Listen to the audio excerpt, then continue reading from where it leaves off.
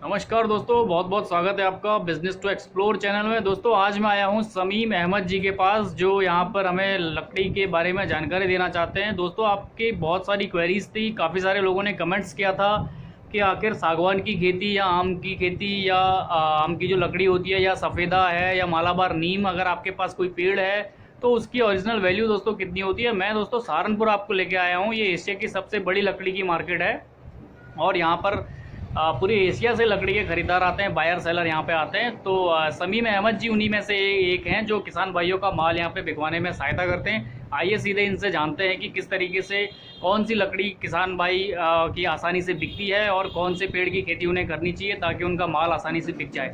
समीम जी बहुत बहुत thank you आपका बिज़नेस से जुड़ने के लिए। सर, आज आप हमारे किसान भाइयों को बताइए कि किस प्रकार की खेती वो करें ताकि किस प्रकार की लकड़ी की वैल्यू बहुत अच्छी होती है और किस प्रकार की लकड़ी आसानी से यहाँ पे बिक जाती है।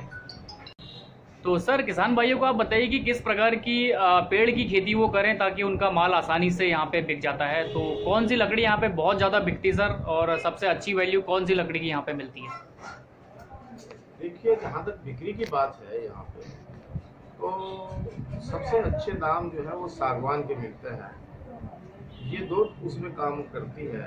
एक फर्नीचर लाइन में और एक जो है इमारती लकड़ी में जोड़ी, पल्ले आदि इसके बनते हैं। तो अच्छी खेती, अच्छे दाम के लिए सागवान ज़्यादा अच्छा है।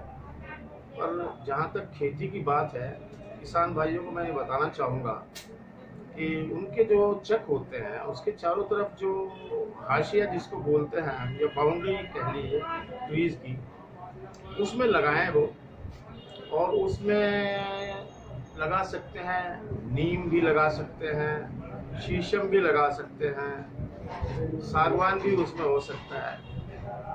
तो ये सब चीज़ें हैं जो किसानों को ये अच्छे दाम मिल सकते हैं इससे। बिल्कुल सर किसानों को अच्छा दाम इसका मिल जाता है। तो सर किस प्रकार की लकड़ी बिकने के लिए तैयार होती है? काफ़ी सारे किसान भाइयों की क्वेरीज है लोगों की क्वेरीज है उनके पास पेड़ तैयार हैं। तो एक जनरल जो एक खाका है कि इस तरीके का पेड़ का वैल्यू अच्छा मिल जाता है और उसकी लकड़ी अच्छी मानी जाती है। देखिए सागवान जो है वो कम से कम 20 साल में बिकने के लिए तैयार होता है। जिसके बहुत अच्छे रेट मिलते हैं। और वो लगभग 20 साल में चार फुट की गोलाई, यानी 50 इंच की गोलाई के आसपास पहुँच जाता है अड़तालीस शीशम है, शीशम थोड़ी कम ग्रोथ होती है उसकी, लेकिन उसके रेट भी अच्छे होते हैं। पंद्रह साल में वो भी जो है तीन फुट, साढ़े तीन फुट के लपेट में आ जाती है। नीम नीम भी ऐसे ही लगभग पंद्रह साल में बिकने के लिए तैयार हो जाता है। और सफेदा वगैरह ऐसा यूके सफेदा भी सफेदा। हाइब्रिड जो है आजकल बीज चल रहे हैं हाइब्रिड हाँ जी वो हाँ जल्दी हो जाता है। वो जल्दी हाँ वो सबसे तेज फ़सल है। अभी आप सागवान की दो एक फ़सल लेंगे और सफेदा जिसको यूकेलिप्टिस बोला जाता है हाँ जी, हाँ जी। उसकी कम से कम दो तीन फ़सल उस टाइम तक ले लेंगे। क्योंकि ये दो तो ले ही लेंगे दो बार में। दो बार। यानी वो डबल हो जाए डबल और रेट के कंपैरिजन में भी वो वहीं आ जाएगा। अच्छा। और इससे एक फ़ायदा किसान को ये होगा कि सागवान का या शीशम का तो पंद्रह एक साल में उसको बेनिफिट होना है एकदम। हाँ पर यूकेलिप्टिस का जो है हाइब्रिड जो आजकल चल रहे हैं हाँ वो उसको सात साल में एक बार उसको मिल जाएगा बीच में। हाँ जी हाँ जी। तो वो अपनी ज़रूरत पूरी कर सकता है बीच में फिर उसको लगा दे काट कर बिल्कुल। और ये बाउंड्री में भी काम करता है ये हमारे यहाँ गाँव में देखा जाता है किसान भाइयों में डोल का काटने का इसका उसका रोज़ाना जबकि झगड़े रहते हैं पेड़ डोल पे लगा दीजिए कोई झगड़ा ही नहीं रहता है। बिल्कुल सही इससे पार्टीशन हो जाता है बहुत अच्छा। बिल्कुल सही बात है। आपके खेतों की बाउंड्री के साथ साथ आपको 15 साल में 20 साल में बहुत अच्छी अर्निंग्स भी इससे दोस्तों हो जाती है। तो सर यहाँ पे अमूमन अगर मैं सागवान की पेड़ की बात करूँ तो 15 साल का जो पेड़ होता है उसकी क्या कीमत यहाँ पे लगभग एक अनुमानन जो है हो जाती है? देखिए सागवान अगर गीला होगा चूँकि कुछ लोग जो हैं वो उसको काट करके सुखा लेते हैं इसमें पानी की मात्रा ज़्यादा होती है। हाँ जी हाँ जी हाँ जी।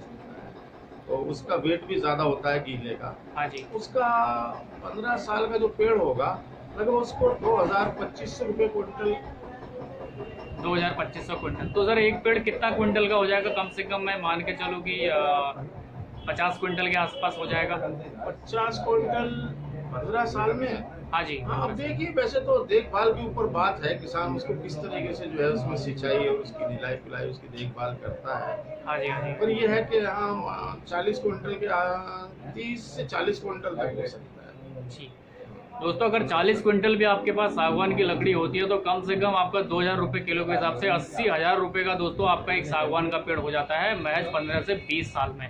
ये दोस्तों इस चीज़ का अच्छी वैरायटी लगाई जाए अच्छी वैरायटी का अगर लगाएँगे सागवान आप तो इतना मुनाफा दोस्तों इसमें होता है। तो सर इसमें सागवान की लकड़ी की टहनिया वगैरह भी बिकती हैं? उनका कोई यूज़ वगैरह होता है? टहनी नहीं बिकती इसकी। अच्छा, ये आप मेन हार्डवुड की बात कर रहे हैं। क्वालिटी भी यही होती है पेड़ बड़ा होता जाता है हाँ जी। उसको छटाई करते रहते हैं। हाँ जी हाँ जी। उससे कहते हैं हमारे यहाँ उससे छांटते रहते हैं ताकि पेड़ सीधा चले और अच्छी क्वालिटी का बने। अच्छी इसमें कांटे नहीं आ पाते। हाँ जी हाँ जी हाँ हाँ तो छटिए तो उसपे होती नहीं वो सीधा चलता है सीधा ठीक तो ही क्वालिटी अच्छी होती है। शीशम है आपका शीशम थोड़ी लेट वैरायटी है। हाँ जी हाँ जी हाँ जी। उसकी ग्रोथ थोड़ी इसके बाद है। तो सर इसमें आप बताइए कि किसान भाई जो अपना लकड़ी बेचना चाहते हैं वो आपसे किस तरीके से संपर्क कर सकते हैं और कैसे आप उनकी हेल्प करते हैं इसमें इस चीज़ में? देखिए हम यहाँ हमारे यहाँ गीली लकड़ी भी आती है जिसको हम सेल करते हैं और सूखी भी आती है। हमारे यहाँ की लकड़ी यहाँ सहारनपुर में वुड कार्विंग की बहुत सारी फैक्ट्रीज है। हस्तकला के यहाँ काफ़ी कारखाने हैं। हाँ जी हाँ जी। तो जो टेढ़ी मेढ़ी होती है हाँ जी। वो मोस्टली वहाँ काम आ जाती है। है। छोटे पीस बनाने हो या किसी को बड़े पीस का ऑर्डर है किसी एक्सपोर्ट का काम है किसी का बड़े पीस की बात है तो वो सीधी लकड़ी लेना पसंद करता है। सीधी लकड़ी के जो है वो अच्छे दाम मिलते हैं। हाँ जी हाँ जी। है जी। और टेढ़ी मेढ़ी के कम हो जाते हैं। हाँ जी हाँ जी हाँ तो और दूसरी बात ये है ये काम आती है आपके फर्नीचर लाइन में और इमारती लकड़ी। इमारती लकड़ी ये है हम विंडो के किवाड़ चौके बनाते हैं और किवाड़ बनाते हैं जोड़ी पल्ले। हाँ जी हाँ जी हाँ जी। शीशम के भी और उसमें भी। जो सीधी बढ़िया लकड़ी होती है अच्छी हाँ जी। शीशम की क्वालिटी होना है शुभ शीशम हो अच्छी पक्के शीशम सागवान की भी यही क्वालिटी है। हाँ जी। उसमें जो बीच बीच में वो निशान सा रहता है चारों तरफ़ सफ़ेद के अलावा वो अच्छी ज़्यादा हो सफेदी कम हो वो पक्की लकड़ी कहलाती है। हाँ चाहे वो शीशम हो या सागवान उसकी बहुत अच्छी कीमत मिलती है। वो इमारती लकड़ी बन जाती है। इमारत में लकड़ी महँगी बिकती है. तो सर ने हमें बताया कि किस तरीके से पेड़ों की खेती करके पेड़ लगा के आप अपनी चार दीवारी पे बहुत अच्छा मुनाफा इसमें कमा सकते हैं। दोस्तों, मैं सर का नंबर आपको डिस्क्रिप्शन में दे दूँगा और थंबनेल में भी लगा होगा। आप इनसे डायरेक्टली कांटेक्ट कर सकते हैं, इनसे संपर्क कर सकते हैं कि कैसे माल इनको कब लेके आना है और कब बेचना है, ये आपको पूरी जानकारी उसके ऊपर भी दे देंगे। वीडियो देखने के लिए बहुत बहुत धन्यवाद सर। हमसे जुड़ने के लिए आपका बहुत बहुत धन्यवाद। इतनी अच्छी जानकारी आपने हमारे चैनल्स की व्यूअर्स को दी। दोस्तों, अगर अभी तक चैनल सब्सक्राइब नहीं किया तो सब्सक्राइब कर लीजिए और वीडियो देखने के लिए आपका बहुत बहुत धन्यवाद। ऐसे ही वीडियोस में लेके आता हूँ इस चैनल पे दोस्तों, और ऐसे ही आपको नई नई जानकारियाँ इसमें देता हूँ। थैंक यू दोस्तों, बहुत बहुत थैंक यू आपका।